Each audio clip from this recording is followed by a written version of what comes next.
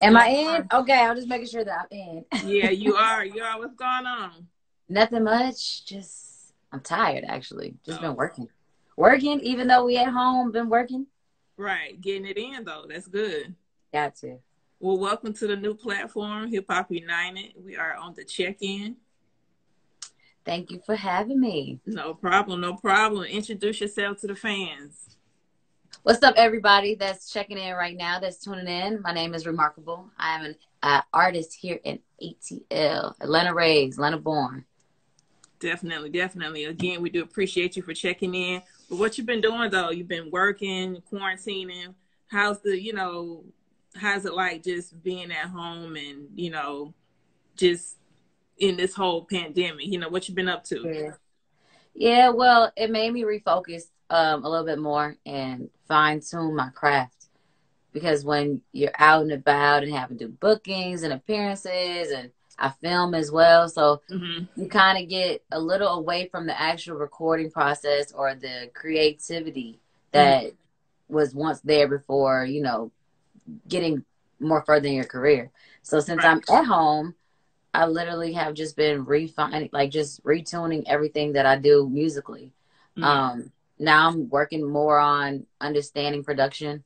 Mm-hmm. Uh, I sit I sit hand in hand now with my boyfriend who is my producer as well. But instead of mm-hmm. just going through beats, now we're making beats together, and I'm okay. understanding the sounds and what what makes sense for my voice and just really finding my true sound. So that's been a big thing. And then my writing, I just been way better on my writing. It's it doesn't take me as long anymore.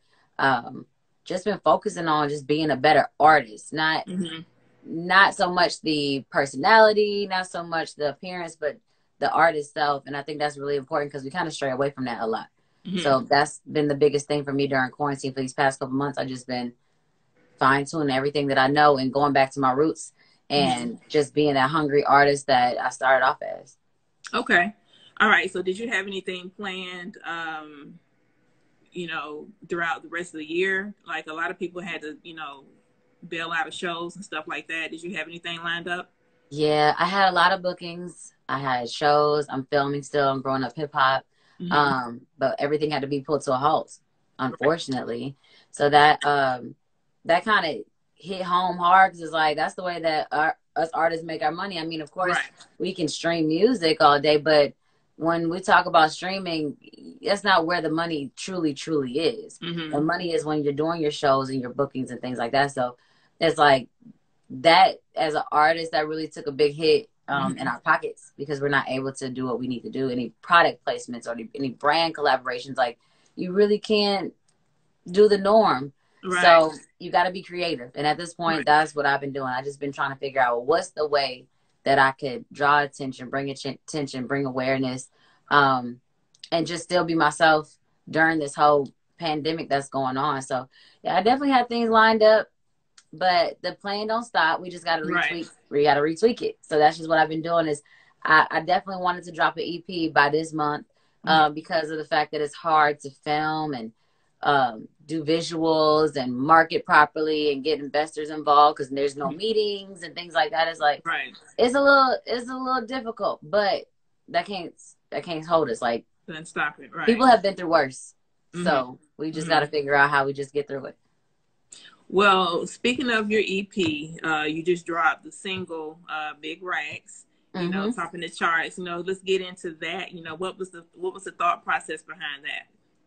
Honestly, I had a birthday party, and since we're in quarantine, I couldn't have a birthday party that was big like I normally do. Normally, I do a whole week of festivities. So mm-hmm. I literally got my closest fans, fans, my friends and family, and we spent the night together. So right before my party started, before I had to start decorating and getting everything placed where it's supposed to be at, mm-hmm. it was probably like five o'clock in the morning. I told my boyfriend, his name is Eight, Eight Major. He works with 30 Roc. He's part of 1209, that production crew. Mm-hmm. He, I told him, I said, hey, I want to make a song specifically for my party. He was like, when? Your party's tonight. And I was like, now. He's like, it's five o'clock. Like, what? What beat do you want to do then? Because he's never telling me no. He's always mm-hmm. like, when I'm being creative, he's like, all right, let's do it. Mm-hmm. And I was like, I don't have a beat in mind, but let's just make one. So literally, me and him sat down together and we made the beat together. Like I told him what I wanted, what sounds I needed, And within an hour, the beat was made. Then another hour, the song was written. And I left the open verse on there because one of my close friends, her name is Yummy Pearl. She used to be signed to QC. Mm-hmm. Very talented artist. She's a rapper, female rapper as well. And I was like, you know what? I want her to hear this song before I finish it. Because if I finish it, then it's gonna be done. I'm like, all right, it's set. I said, let me leave an open verse on there. I'm gonna play it at the party, and I'm gonna see how she feel, and I'm gonna see how the girls feel. Because I really want to make some music for the ladies. Because I kind of don't make music specifically for ladies. I kind of make it general. Mm-hmm. So I'm like, let me make some music for the ladies. Let me see how they feel about it when I play it at the party. And Yummy loved it, and she's like, yeah, I'm getting on it. So immediately the day after, she went to the studio, laid a verse down, sent it right over. And that's just how I came about it. it was just all about just wanting to give something to my women fans and women listeners and supporters because right now it's like we we need each other to come together. It's so right. crazy. I just looked at what Billboard just posted. Nicki and Doja Cat are number one. Megan and Beyonce are number two on the billboards. Like that's crazy. Like it's so important that the women team up. Like right so yeah, Big Racks really came about as just I just wanted to work with Yummy because I know that she's very mm-hmm. talented. I've never had a female rapper feature, and neither has mm-hmm. she. Mm. But we've been friends for a while, so it's like, why does never happen? I'm gonna make it happen. We gonna make it happen. Right, and right. That's just what it was, and everybody's loving it. Like, it's so crazy when you make a song and you spend ten hours on a song, and you be thinking like, this is the one. Mm-hmm. But then when you spend an hour on another one, it's like it's cool, but then everybody right. loves it. So it's all about just being fun and having fun and and doing something that you love. And that's how that song came out. It was just out of love and just wanting okay. to basically support everybody else. Got you, got you. Any other female artists that you want to uh, collab with? Man, what? Everybody. I really want to work with everybody. I want to have as many female features, just like the guys do. Like, right. think about Lil Wayne has worked with probably every, almost every male artist from a certain time frame. Mm-hmm. Um, Drake has worked with almost every artist. Future, like people, the men work with each other like mm-hmm. Mm-hmm. a lot. So as far as any other female artists, like definitely, it, it, don't have to just be Atlanta. It could be anywhere. I'm looking actually to do a remix since Big Racks is doing so well, and it just came out Friday, right. so it's only been out for a couple days. Mm-hmm. Literally just got put on Apple yesterday. Um, and it's really it's doing really well. Mm-hmm. So I do want to add additional female rapper on there. Okay. And who you thinking um, about?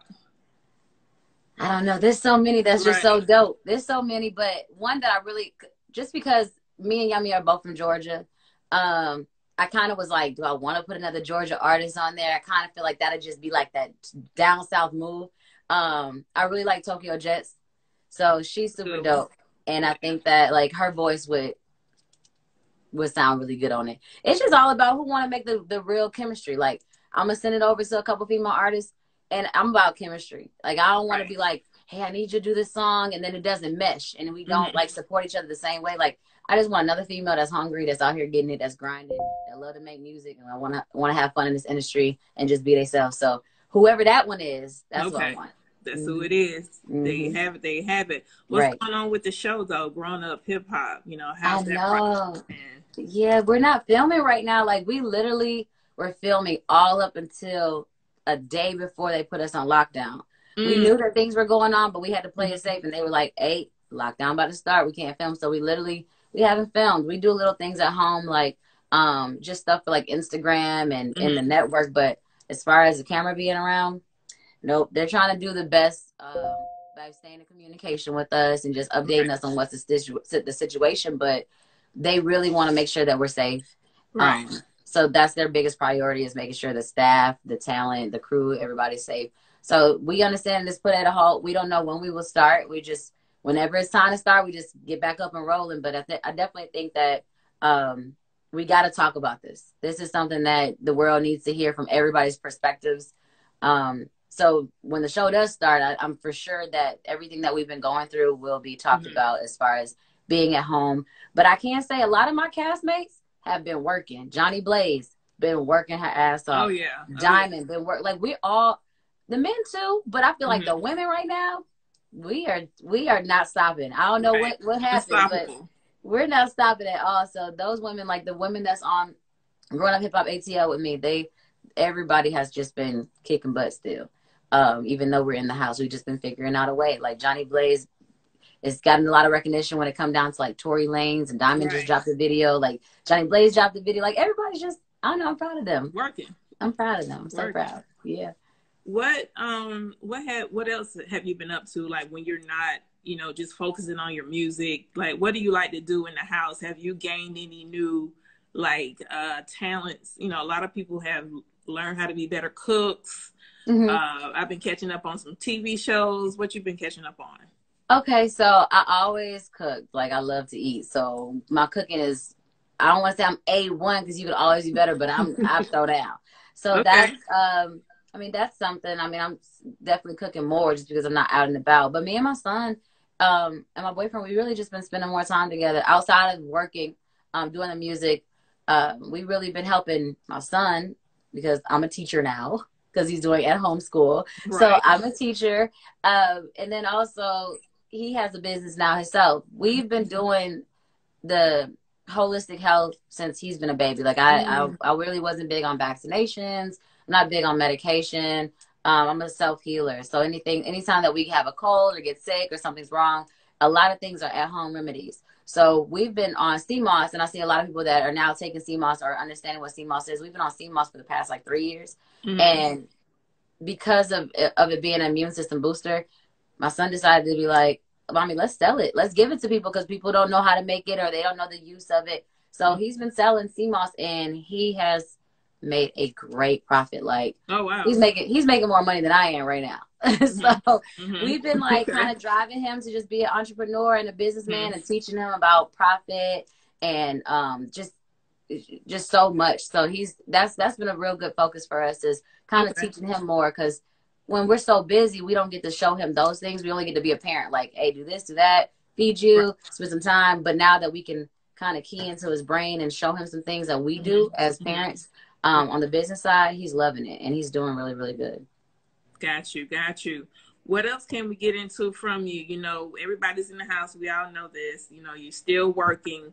Uh, big racks. Can we expect any other singles dropping soon? I have so many. I just don't know if I just want to go ahead and drop the project with all the new singles on there, or do I Mhm. want to drop one more? So I'm really debating between that. I have R and B singles, I have hip hop singles. Uh, so it's just like, do I want to drop a solo without a feature? Because the past three songs I've had features on there, and that was more or less just to collab with other artists, just to to merge our brands. So Mhm. like my part of me with um, seven one eight Spank, um, that went crazy. Like it's it's at a million streams right now. Um, then I did a song with Sorry the Kid Vibe, and that was a R and B song. Now I came back with a female rapper, so it's like, do I want to set another standard on doing something out of the box with another artist, or do I go ahead and drop a single that's solo that I push? I'm not sure. It's really about how everything feel. Because every day when I make a song, it's like a better song, and I'm like, oh, forget that song. I want to make a new song. So Mhm.